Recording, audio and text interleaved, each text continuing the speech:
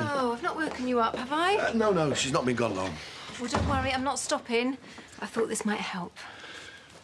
Calls itself malted milk, although I don't think it's ever been anywhere near a cow.